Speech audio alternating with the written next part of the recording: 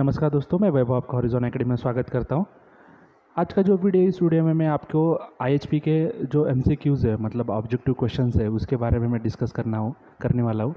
ये वीडियो में टोटल में दस क्वेश्चन डिस्कस करूँगा और इसके ये वीडियो के बेसिस पे मैं आगे की कुछ वीडियो करना है या नहीं करना है वो डिसाइड करने वाला हूँ। जैसे कि ये वीडियो को कितने लाइक्स आते हैं शेयर्स कितने हो, होते हैं उसके बाद वीडियो को कमेंट्स भी कितने आते हैं। मैं आई के भी एमसीक्यू बनाने वाला हूँ। उसके बाद अगर कुछ जी स्कीम के कमेंट्स आए तो जी स्कीम के भी एम के रहेंगे या एडवांस मैन्युफैक्चरिंग प्रोसेस के रहेंगे मेज़रमेंट एंड कंट्रोल के रहेंगे, वो भी बनाने के लिए तैयार हूँ। लेकिन मुझे आपका क्या चाहिए? सपोर्ट चाहिए।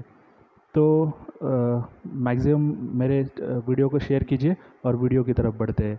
आपका पहला क्वेश्चन है कि लॉस इन हाइड्रोलिक सिस्टम अगर कोई भी हाइड्रोलिक सिस्टम है तो उसमें लॉस किस वजह से होता है? आपका जो पंप एनर्जी ये कर रहा है तो उसका लॉस किस किसमें होता है?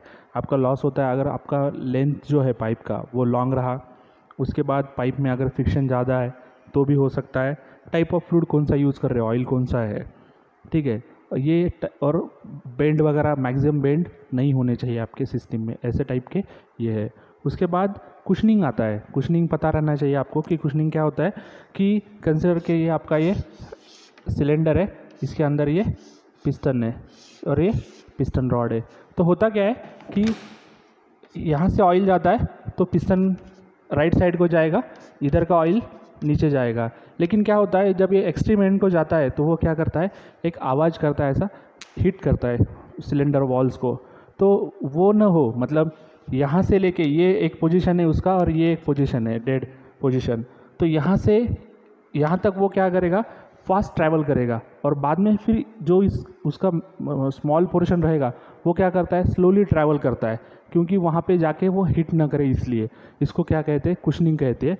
कुशनिंग के लिए यहाँ पे एक स्क्रू एडजस्टमेंट वगैरह रहता है, फिर जो आपका पिस्टन है, यहाँ से यहाँ तक फास्ट ट्रैवल करेगा, फिर आगे स्लो ट्रैवल करेगा, उसको कुशनिंग कहते हैं। तो कुशनिंग में क्या है कि आपके दोनों भी होते हैं सिलेंड आपके पिस्टन का स्पीड इंक्रीज भी होता है और डिक्रीज भी होता है।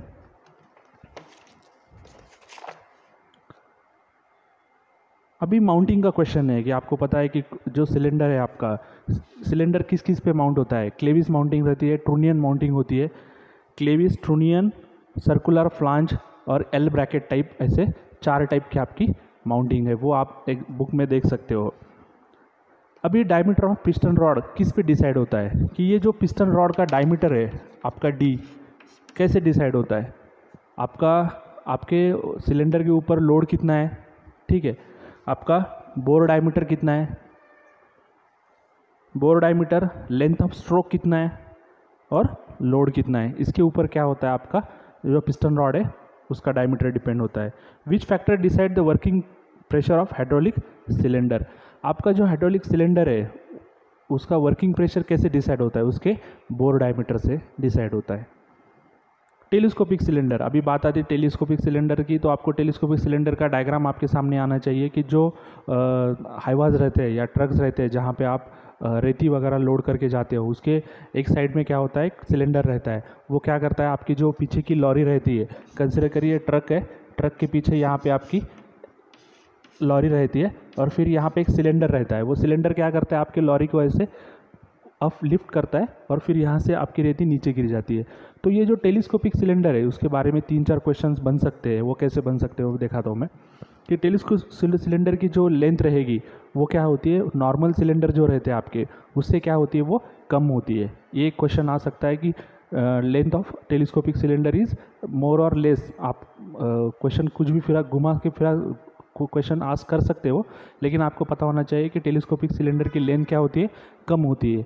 फिर उसके बाद टेलीस्कोपिक सिलेंडर में क्या होता है? एक पिस्टन दूसरे पिस्टन एक दूसरे को ऐसे कनेक्टेड रहते हैं। वो आप डायग्राम देख लो, आप में से उसको पता, आपको पता चल जाएगा। फिर क्वेश्चन आता है गियर पंप का। गियर पंप में क्या होता है आपको पता है? दो गियर्स रहते हैं, एक दूसरे को मेश फिर वो सर्कुलर केसिंग में सर्कुलर केसिंग में रोटेट होते हैं। तो गियर पंप का क्वेश्चन कुछ इस तरह से, कि अगर गियर पंप का प्रेशर इंक्रीज़ हुआ तो ओवरऑल इफ़िशेंसी क्या होती है? डिक्रीज़ होती है। फिर उसके बाद inter leakage in internal gear pump जो इंटरनल गियर पंप है आपका, उसमें इंटरनल लीकेज क्यों होता है? पहली बात तो ये ध्यान में आपको रखना है कि हाइड्रोलिक सिस्टम जितनी भी हाइड्रोलिक सिस्टम है, उसका इनिशियल कॉस्ट ज़्यादा है, उसके साथ उसका मेंटेनेंस कॉस्ट भी ज़्यादा है. क्यों है? क्योंकि आपको अगर प्रेशर डेवलप करना है तो आपके जो पार्ट्स है, वो एकदम प्रिसाइज मैन्युफैक्चर चाहिए. अगर और पार्ट्स प्रिसाइज मैन्युफैक्चर हुए तो उसकी अल्टीमेटली कॉस्ट भी बढ़ जाती है. तो इंटरनल गियर पंप में लीकेज क्यों होता है? उसके अगर टॉलरेंस आपका ज़्यादा रहा तो उसकी वजह से लीकेज होता है। Rotation of gear in internal gear pump ठीक है?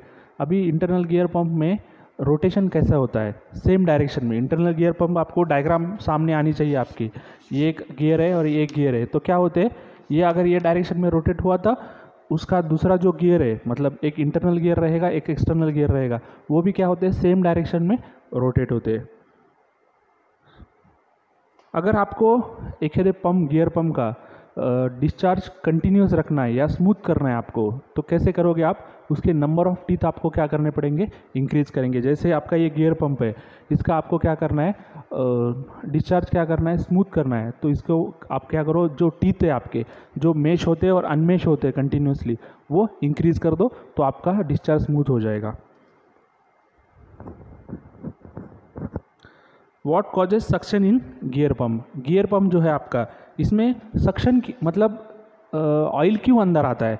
आपको पता है कि एक एक गियर को क्या रहता है? आपने मोटर कनेक्ट किया रहते हैं और ये रोटेट होते हैं। रोटेट होते तो क्या होते हैं? आपके टीथ मेश और अनमेश होते हैं कंटिन्यूसली तो ये जो डिसएंगेजमेंट है आपका टीथ का, उसकी वजह से क्या होता है? यहाँ पे वैक्यूम क्रिएट हो जाता है। ये इसका इंपॉर्टेंट पॉइंट है कि डिसएंगेजमेंट ऑफ़ टूथ इसकी वजह से वैक्यूम क्रिएट होता है। प्रिंसिपल ऑफ़ गियर पंप ये जो गियर पंप का प्रिंसिपल क्या है कि ये अपोजिट डायरेक्शन में रोटेट होते हैं. Internal gear pump same direction में ये अपोजिट डायरेक्शन में गियर्स गियर पंप जो है, इसका डिस्प्लेसमेंट कैसा है? फिक्स डिस्प्लेसमेंट है. मतलब इसको आप कुछ चेंज नहीं कर सकते हो. जैसे स्वैस प्लेट रहता है, ठीक है? उसमें क्या है? आप स्वैस प्लेट का जैसे एंगल चेंज करोगे, वैसे आपका डिस्चार्ज इंक्रीज या डिक्रीज हो जाता है. लेकिन यहाँ पे आपका डिस्चार्ज कैसे? फिक्स है.